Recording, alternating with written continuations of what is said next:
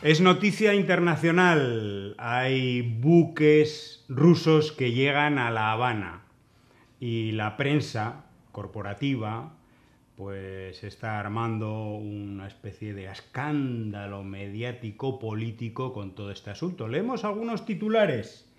Rusia envía un submarino nuclear y otros tres buques a Cuba para inquietar a Estados Unidos. Más cosas, más cosas. Otra crisis de los misiles como en los 60, el despliegue militar de Putin en Cuba resucita el fantasma de la alerta nuclear. Rusia envía a Cuba un submarino nuclear y una fragata con capacidad para lanzar misiles hipersónicos. Con capacidad no sé, pero no hay ningún misil hipersónico, ningún misil nuclear, no hay nada, absolutamente nada. Cuba se pone a disposición de Putin para que se vengue de Estados Unidos por, su ayuda a Ucrania. Putin planta un submarino nuclear y tres barcos de guerra en Cuba a menos de 200 kilómetros de Estados Unidos. Bueno, son, eh, son em, titulares de este corte los que estamos leyendo estos días. Incluso en un grupo mediático, vamos a decir, de estos que se presentan como progres, como es el grupo Prisa la cadena SER, leemos, imagínense este titular, que es absolutamente falso. Llega al puerto de Cuba hasta cuatro buques de la Armada rusa para practicar un lanzamiento de misiles de alta precisión. Pero, ¿en qué escuela de periodismo ha estudiado el que ha escrito este titular? ¿Dónde se ha informado para decir que va a haber una prueba de lanzamiento de misiles en Cuba. Es mentira, absoluta mentira. El, dentro de la diplomacia cubana, que quieren, por supuesto, quieren poner diplomacia y seriedad y un poco de frialdad a todo esto, dice Carlos Fernández de Cosío. En años recientes hemos recibido en puertos cubanos a destacamentos navales de Canadá, Francia, Reino Unido, Japón, Holanda, México, bueno, dice una serie de países. Todas han sido vistas a mis han sido visitas, amistosas y de cooperación, como es práctica común y universal. Y es que lo que no dicen todos estos junta letras es que en la misma semana también hay un buque de Canadá. Pero eso no les interesa. Un buque de Canadá que pertenece a la OTAN, vamos a decir, ¿no?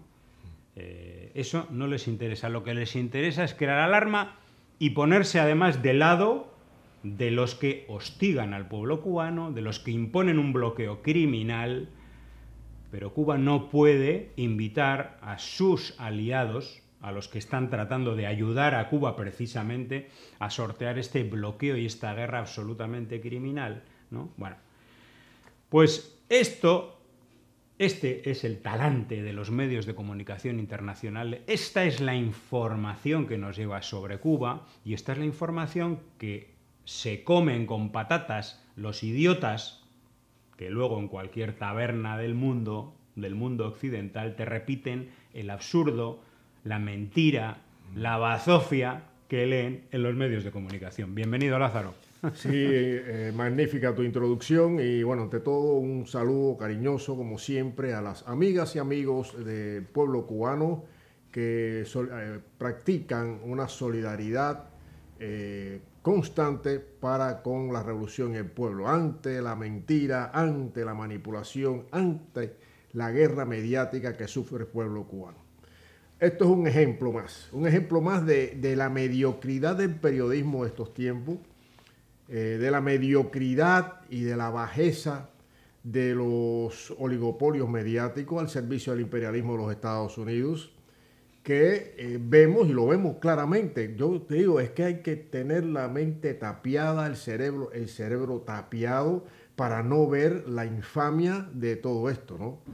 O sea, ya desde, la, desde el Departamento de Estado, los, las agencias de inteligencia de Estados Unidos trazan una línea y esa línea se expande en todos los medios, o sea, los oligopolios mediáticos la prensa esta corporativa, eh, burguesa. Corrupta. Corrupta también.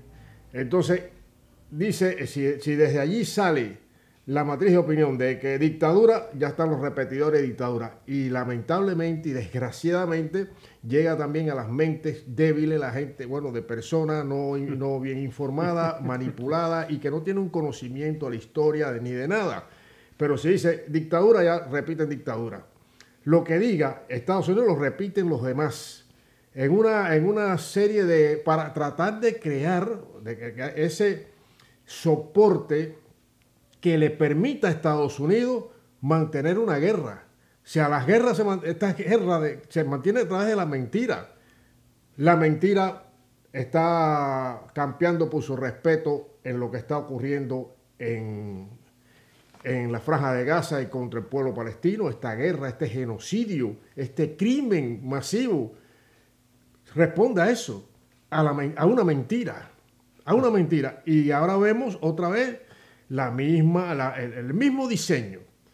Otra mentira, la manipulación, que es grosera, es, es, algo escandaloso que debieran, bueno, es que no tienen vergüenza. Estos, mm. estos que junta letra, tú dices, no tienen vergüenza. No tienen vergüenza es normal y además, bueno, ya lo dice el, el, eh, compañero eh, eh, Fernández de Cosío, viceministro de Relaciones Exteriores. Ha pasado, es una visita de cortesía o una visita, vamos a quitarle cortesía, una visita de un país de la Armada, parte de la Armada, porque son cuatro, tres, tres, una fragata, cuatro, Claro, cuando dice un submarino nuclear, ya la gente, el que no sabe nada ni de navegación, ni de marina, ni de nada, pues, ¡ay! Nuclear. No, es un submarino que funciona o sea, propulsado por energía nuclear. Punto. Ah, no, no. No tiene, pero no lleva ningún misil. No, lleva ningún misil, no lleva ninguna arma ofensiva, nada. Ah, pero eso le sirve a los ajuntaletras esto y a los mentirosos ya endémicos para lanzar, claro, siguiendo órdenes, siguiendo el guion que se diseña en Estados Unidos. Porque Estados Unidos necesita crear eso, esa, primero desviar la atención de lo que está, intentar desviar la atención de lo que está pasando en la franja de Gaza y contra el pueblo palestino, desviar un poco la atención de lo que está eh, ocurriendo en Ucrania y, traerla al Caribe. ¿Y a quién? A Cuba. ¿Por qué no hay la, misma preocupación y la misma algaraza cuando la cuarta flota de, Estados Unidos se pasea por los mares y va y, hace una visita, por ejemplo, a Argentina, como fue recientemente, con la, esta señora, la jefa del comando, del, comando sur de, la, de esta cuarta flota de Estados Unidos? Ahí no pasa nada. Si la Armada y los buques de guerra con misiles, eh, eh, con todo lo más eh, último en tecnología militar y naval, eh, va a un país de la región de América Latina y Caribe, no pasa nada, la prensa no vaya nada, no hay titulares, no hay eh, alarma.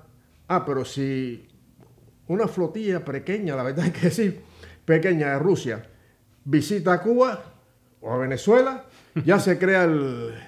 Se crea y entonces todos estos repetidores, estos subordinados, estos eh, mediocres, se eh, lanzan titulares alarmistas y, con una irresponsabilidad, José, que bueno, porque hay gente que no, todo el mundo no tiene por qué ser experto ni conocer eh, temas de este tipo, pero ya hmm. crean la alarma, crean la, la atención. Cuidado, que la flota, claro, Estados Unidos tiene que, es una amenaza para Estados Unidos, nada más y nada menos, que sea una amenaza, todo es una amenaza, todo es una amenaza para Estados Unidos. Pero Estados Unidos no es una amenaza para nadie. Y, Estados Unidos, no es amenaza, por favor, por favor, sean más serios, sean más profesionales. salvo para los 36.000 muertos sí, exacto. En, en Palestina con las bombas de Estados Unidos.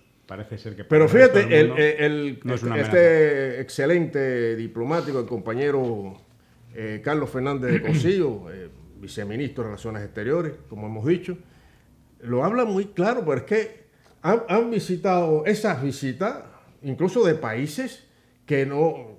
de la OTAN incluso. De, las OTAN incluso. Mm. De cortesía, de, incluso con una posición amistosa. Intercambian eh, lo, bueno, temas de, relacionados con con las relaciones entre ambos países, intercambian sobre la, eh, lógicamente con el tema naval, del tema del narcotráfico, tema de todas las cuestiones que pueden afectar o que están en el ajedrez de, eh, de la región, de América Latina y el Caribe. Ya punto. Ah, no, no, no, que si es una amenaza. Pero tú... bueno, mira, eh, nos dicen, medios de la derecha critican la presencia de Cuba, en Cuba de solo cuatro buques rusos con fines académicos. ¿Acaso no es más peligroso que el, el Comando Sur realice en Perú un ejercicio militar con más de 1.700 efectivos justo ahora? Y, eh, y, pone una noticia, 1.700 efectivos, comienzan en Perú el ejercicio militar internacional bla, bla, bla, bla, bla. En Perú. En Perú. Y, pero claro, eso no, eso no es importante y eso no es una amenaza. Y Pedro Rojo nos dice, en fin, la hipocresía. Medios occidentales. Submarino de Estados Unidos entra en Guantánamo, Cuba, y una cara de... Así. Sonrisa. Submarino de Rusia entra en La Habana, Cuba. No, por favor.